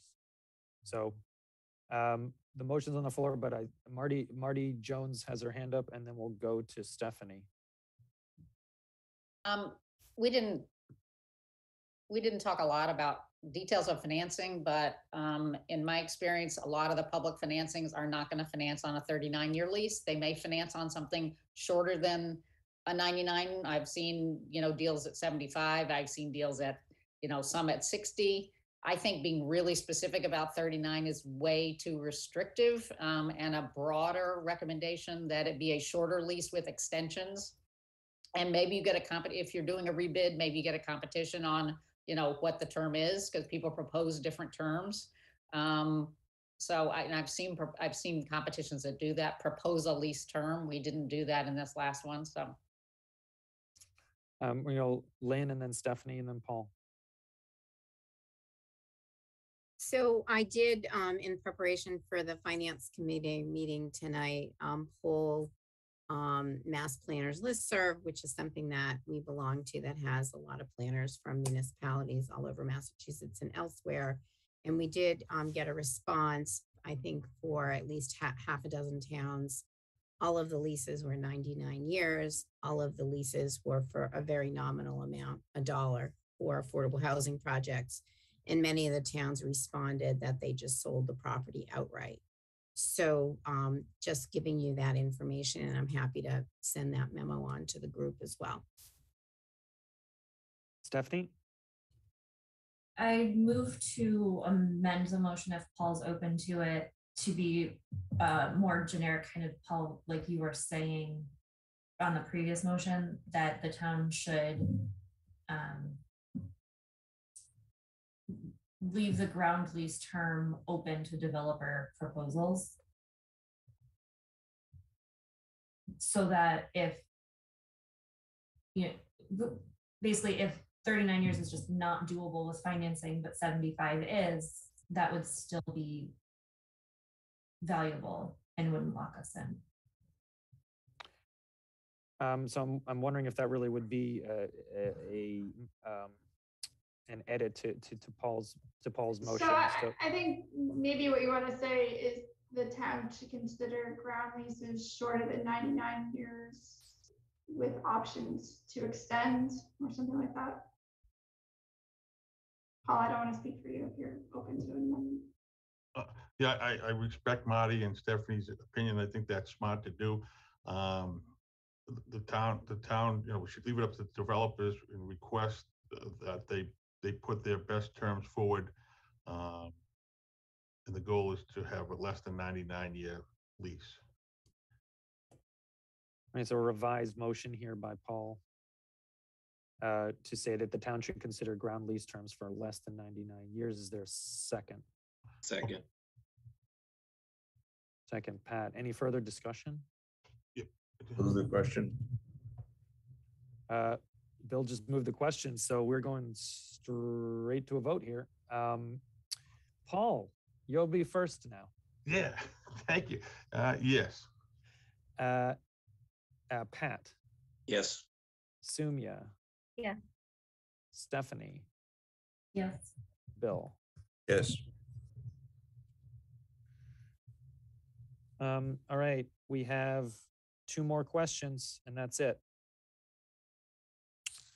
So, uh, for any, for any development on the Waterfield site, the town should strive for the current proposed affordability levels, which is currently at sixty-six percent, and certainly not go lower than fifty. So this was a, a, a My motion, motion. this was a motion by Stephanie. Um, I don't know if you, if this is the exact wording that you wanted. Um, but you, the motion hasn't technically, I guess, been made yet because we, we crafted this based upon your comment. Instead of strive, could you say should keep or should try? Um, because strive means that they can go below the current uh level. Well, that's what, that, that's what this is saying, is saying that they should try to go to sixty-six, but under all circumstances, not go lower than fifty. So it's possible, What so, I it's- was trying, yeah, what I was trying to achieve, Sonia, was if we're adding a whole other floor of units, for example, that we not dilute the ratio. We should try to keep it at sixty-six, not dilute it below fifty. Um, well, I guess this is the motion on the, uh, there's a first, is there a, s- is there a, a second? And Paul, there, will- uh, there will be, and, and Lynn, there will be time for discussion here, but there's a, um, a first, is there a second on the motion?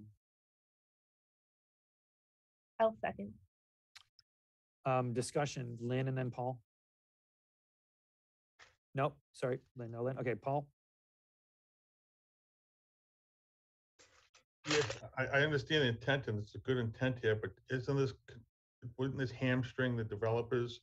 Uh, in, in giving this their best and, best and final, uh, options? Especially when we're asking them to consider revenue and parking as high criteria and the mixed, all top three criteria? I think this might just hamstring them and they're gonna give us, since we put mixed housing as top priority, that they're gonna, um, they're gonna take that into proposal anyways, but if we restrict them to strive for sixty-six, but no, lower than fifty, they might come in at seventy-five, I don't know, or, or, or, or, lower than fifty to, to make everything else work. I think it just kind of pigeonholes them maybe too much. I might be wrong, but just, that's just my, my thought. Yeah, I think the only thing I'll add to that is that the RFP, the previous RFP and the votes that we've said now, that it would generally stay the same, which is at least fifty percent affordable. So that, that, it actually is in line with the current uh, RFP with a preference of keeping it at 66. Um, Okay, thank you. Pat, Pat? Yeah, uh, sorry, that was exactly my question. So that the original, this is kind of basically taking the Civico, isn't Civico at sixty-six and then the RFP's at fifty right now? Is this following the terms that we kind of have? Exactly, exactly, correct. Yeah, no, I'm, I'm with you, Stephanie. You got my vote. Um, all right, um, any further discussion ar- around keeping the percentage of affordability the same? Um, all right, Sumya? Yes. Paul, Yes, Bill, Yes. Pat, Yes, Stephanie? Yes. All right. Um, last, last motion.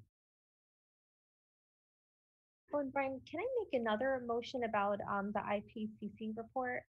To Sure. Yeah, no, um, yes. Um, let's get through this one and we'll put the, we'll put that motion next. Um, the affordable units sh- should cover a range of affordability covering thirty to sixty percent of AMI, both to maximize affordability and to best leverage subsidies and tax credits in order to maximize the economics of the development.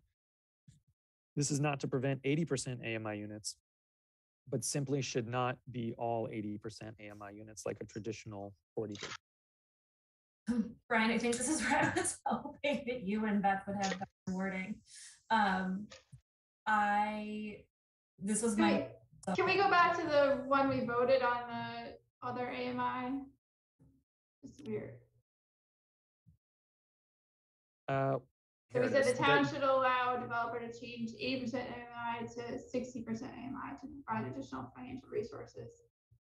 Right, and then th- this is saying that to um, basically not all be, I think what you're trying to say is that, well, right now, under the current proposal, there are no eighty percent, Stephanie, that, that, that's what the votes, the votes show today, that there will be no eighty percent AMI units. So does that change how you're feeling about this motion? I I am totally open, like, I, I think it can be left open. I think if a developer can come with better economics and have eighty percent AMI, like not take that suggestion to go to sixty, because that was very specific to Civico's proposal. My point was, I and and the folks I'm talking, we don't want to see a development of all eighty percent AMI. We want to see that range of AMI covered in part because we, we know those vouchers are highly valuable and those cover the lower AMI, but really Then- doesn't give it affordable. I I think I would focus on your last sentence there. Um, that Sure, like the development should not all be all eighty percent AMI like a traditional forty B or something like that. Right, I, I, I think really what it is is saying this, the affordable units should cover a range of affordability covering thirty to eighty percent of AMI, both to maximize all these things, and this is not to prevent, this is really to prevent all units of eighty percent of AMI, so I can change that. It- it Really, this is to prevent um, a building of all eighty percent AMI units, period. and Stephanie, what's the, why you, why do you want to avoid that? Just so I understand it. You're muted, Stephanie. sorry, sorry. Um, covers a better diversity of incomes and serves more of the community. The idea is that we also have other forty Bs that are all, all eighty percent and we don't really have anything in the thirty or the sixty. So, um, Stephanie, does this, does this, um, as written, co- um, correspond to what you're talking about? Yes, Your motion? Is there a second? I can second it. Second, Pat? Further discussion? Move it. Moved. Um, I'll take a roll call vote. Sumya? Yes. Paul? yes, Pat? Yes, Bill? Yes. Stephanie? yes. Um, it looks like we had one more motion that Sumya wanted to put forward. Um, I'll just start a new thing if you want to take the floor, Yeah. Sumya, and, and talk Yeah. about what you're interested in.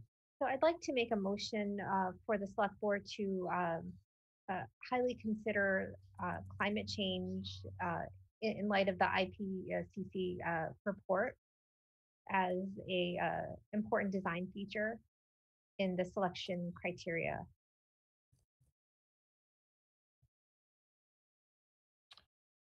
Um, uh, this is, do you have a date again? Sorry for this report that I, So the uh, 2021 okay, uh, I Okay. Report Mhm. uh, in the selection criteria to essentially include um, uh, building design for uh, decreasing CO2 emissions.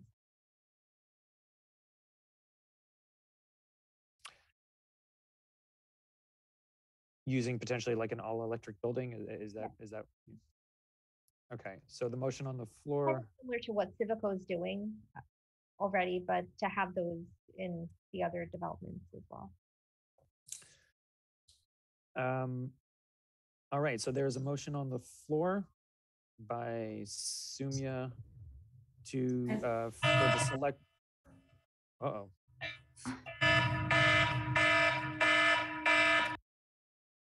I mean, I thought I was in trouble before, but, sorry. Um, I second that. Someone's phone strenuously objecting. All right, so um, we have a first and a second uh, for this motion related to an all-electric building um, to not, to not lose that sustainability aspects of the, of, the- of, uh, of, of the structure. Um, First by Sumia, second by Stephanie. Is there, are there any further questions about, um, further discussion about this motion? I see Paul and Pat's hand up, but I'm unsure if that's related to this. I do have a question. Yes, Uh, Because it looks like, uh, this is already in the RFP, as far as I can tell, at a three X. Uh, Maybe Just- I'm reading it wrong, but it's pretty sustainability highly, is. it's ranked higher than parking was before. sustainability is definitely a part um, is definitely a part of the evaluation criteria. Um, mm, it's possible, yeah. So And I- I'm not I- against this, but it seems like it's already. I mean, maybe the better motion would be to not lower the priority. It's in as a three X, which to me seems pretty high. It's right below affordable. I mean, I don't know how much higher you could go. Um, Yeah, I I definitely see what you're saying, Pat. It's merely to um, make the select, select board aware that uh, sustainability in design is extremely important, as well as the other uh, factors that we're uh, we're discussing. simply because that was not really one of the six that we, it was, is part of the design criteria, but was not fully discussed in this capacity. Is that really what you're? Yeah, yeah, pretty much because I think designing for climate is a little different from design in general because design takes into account the types of units you have, whether uh, how much parking you have, um, retail versus residential, and this is uh, strictly uh, So- Sumya, then if you, if you don't mind, I think I'm going to do this then. I think I'll say continue to highly consider climate change as a, an important val- evaluation criteria, something, something like that. Continue to um, consider climate change um, as an important design feature of the selection criteria. Um, I'm not against this, but we, I mean, earlier we voted to keep the criteria, so maybe you could even say that it's not mentioned in the sustainability provision. I mean, I, I think a simpler, and I'm not trying to be, I'm trying to almost help you, that they add climate change to the proposed sus- sustainability objectives so that it's directly mentioned.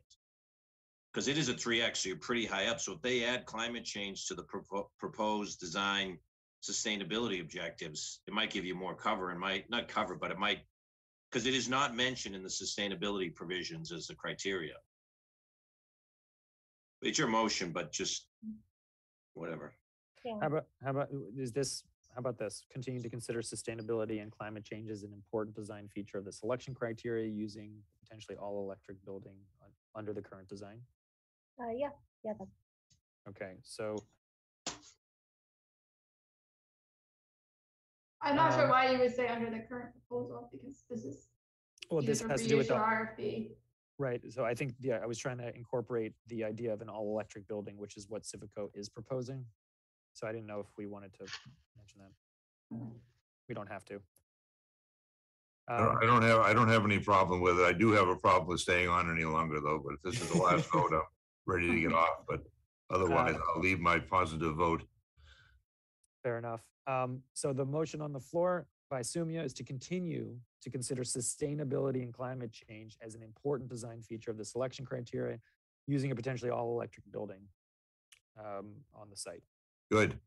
Great. Sumia, uh, Sumia first, seconded, no more discussion. Um, Bill, Yes, Paul, thank you. Yes. Uh, Sumia, I beat you, Paul. Pat, Yes, Stephanie. Yes. All right, folks. Awesome. Um, we were a little bit over, but um, believe we have fulfilled our charge. I believe we did do all the things that we were set out to do over the past eight meetings, as well as today.